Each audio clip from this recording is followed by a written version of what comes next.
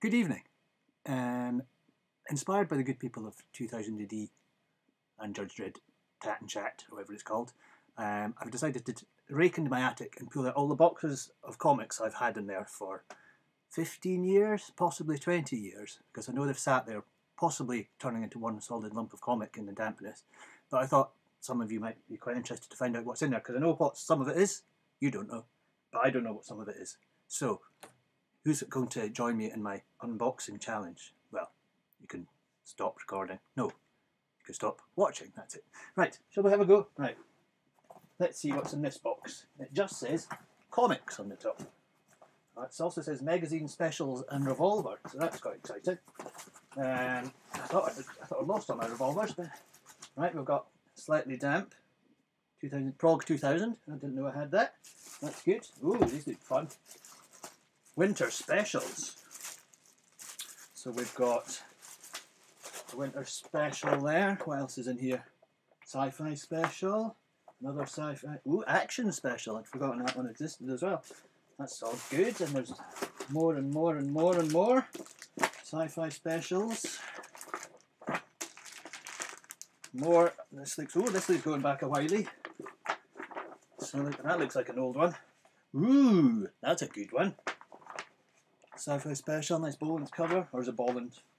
Another Ron Smith one. Ah, I remember the Forbidden Planet ones. These are going back a while, aren't they? Ooh, Ian Gibson. Oh, oh I'd forgotten about that one. I'm going to say that a lot. Sci-fi special with Tyranny Rex. That's good. I'm going to make a mess of this, but never mind. That, and Judge Dredd the magazine. That's number nine, eight, seven. First issue. Ooh. There's two of them, and both with still with the badges attached. Although that one's stuck on the back. Okay, that's the first nine of them. That's good. And some more. 20, 16.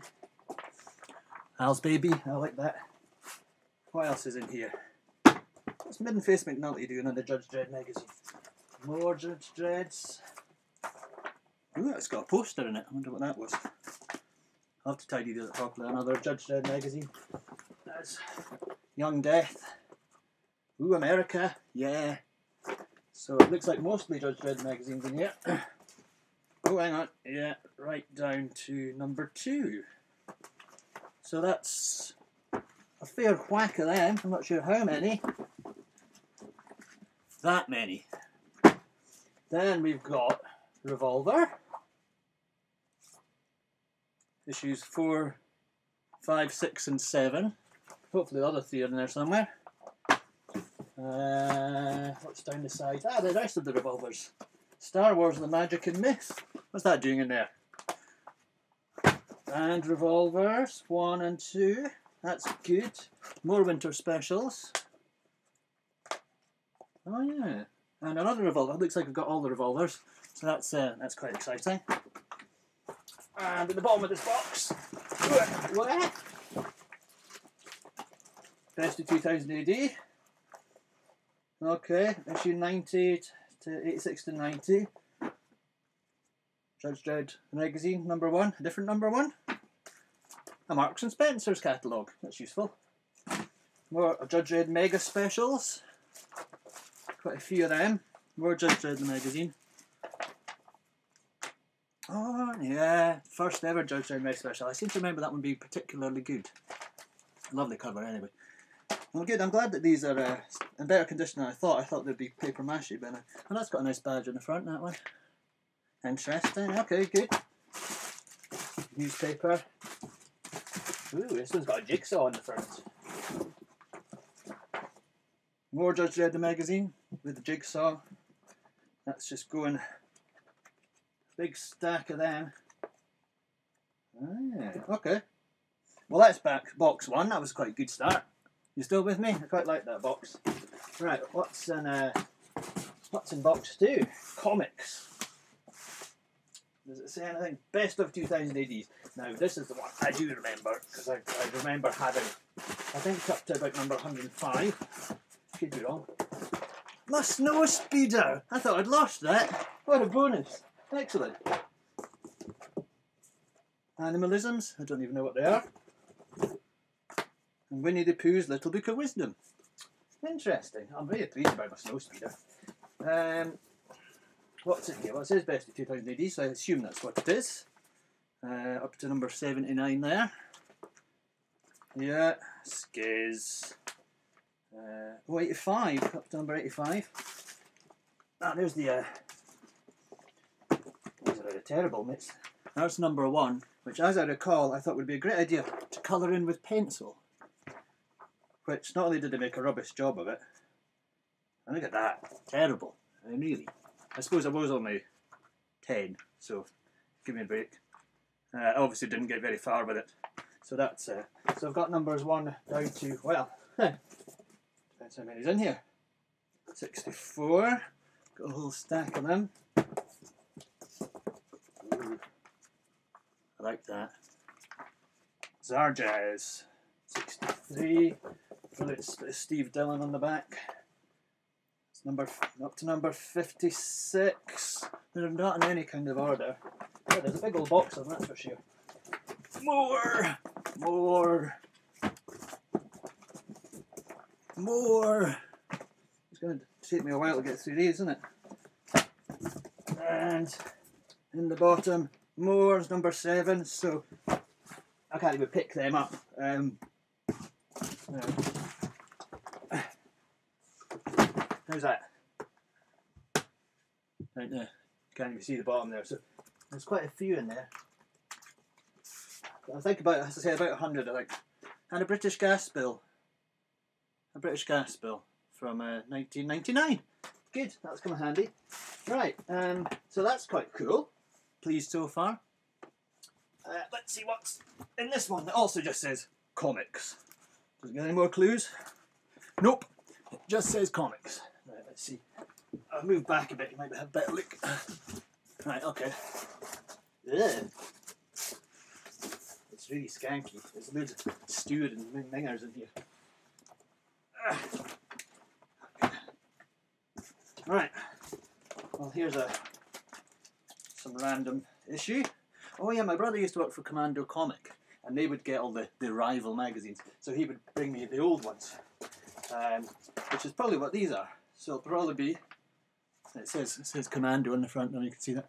So there's probably just a selection of random issues. I did sell, um, I had 2000 ADs from about Prog 200 to about 900, maybe more, and I sold them all as a student uh, because I needed the money, so I sold them all for 200 pounds uh, to the manager of Suede, incidentally.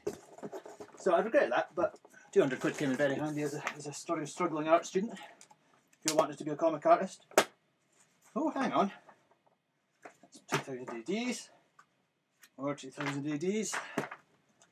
Uh, toxic. Excellent. I thought I'd lost these as well because I had an, in, an incident where my dad threw out a box of my comics, including all of, I think all Crises and most Deadlines. So I regretted that, but this seems to be all of the Toxics. So I'm pleased about that. I've forgotten that existed. Yeah, there we go. Right down to number one, martial law. Splendid. There you go, it's a big stack of top six scissors. What else is in here? More random progs. Big stack of them. Oh, I thought I'd find my deadline. It's just an advert on the back. Curses. Uh, oh, this is in a bag. It's just more 711. Okay, we haven't still got postcards on the front. That's a good one. I also had an original page of Glenn Dillon artwork which else got lost in the flitter. Was quite annoyed about that. And this is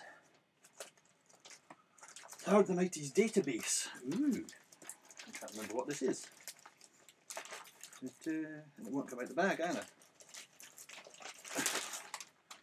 Oh, is that with the collectors? Oh yeah, I've got all the the cards and stuff on the front. Oh, and the wallet. nice. And this one, free with this prog. The database, data chip storage bin. Can't remember what that is. I'll have a look at that later on. Well, that's quite exciting. And so that's that box empty. So Toxics, Random Commando Progs, and some other bits and pieces.